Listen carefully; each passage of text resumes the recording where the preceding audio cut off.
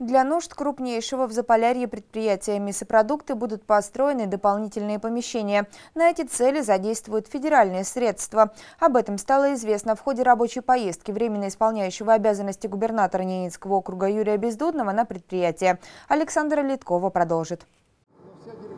В морозильных камерах одного из крупнейших промышленных предприятий Ненецкого округа находится более 500 тонн мяса, большую часть которого составляет оленина. По словам директора ООО «Мясопродукты» Казимира Кабалоева, сырья для производства продукции достаточно, однако камер для его хранения не хватает. Мы э, в прошлом году, в прошлую убойную кампанию заготовили только оленины на 900 тонн.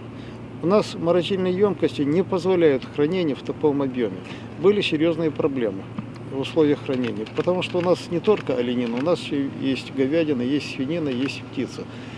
Всего у нас э, хранение нужно обеспечивать условия хранения на 1000-1100 тонн единовременного хранения.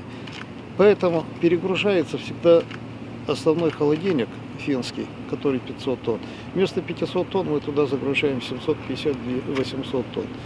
Это недопустимо. Основной так называемый морозильник удалось разгрузить благодаря покупке контейнеров на 150 тонн. Кроме того, предприятие планирует построить склад для хранения специй общей площадью 300 квадратных метров. Строительство запланировано за счет кредитных и федеральных средств. Проектные искательские работы завершим в этом году. Хотелось бы вообще-то монолитные работы, все бетонные работы завершить до конца октября месяца. Если мы успеем до конца октября месяца, погодные условия позволят, хорошо. Нет, тогда перейдем в следующий год. Но строительство должно у нас занять не более 12-13 месяцев. Это уже под ключ. На данный момент на предприятии идет реконструкция колбасно-кулинарного цеха. Все необходимое оборудование завезено. Монтажные работы будут завершены в течение сентября. Это предприятие перерабатывает всю оленину, которую мы производим в округе. Поэтому от того, как это предприятие зависит, зависит напрямую, как развивается оленеводство.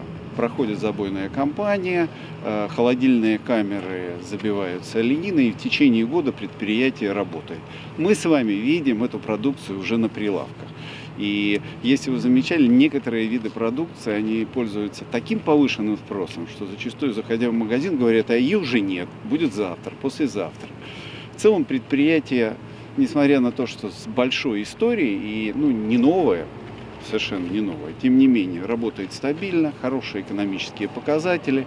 Добавлю, что в этом году были открыты новые фирменные магазины общества в микрорайоне авиаторов, а также в Архангельске, что позволяет создавать новые рабочие места. На сегодняшний день на предприятии трудятся 189 человек. Александра Литкова, Владислав Ткачев, телеканал «Север».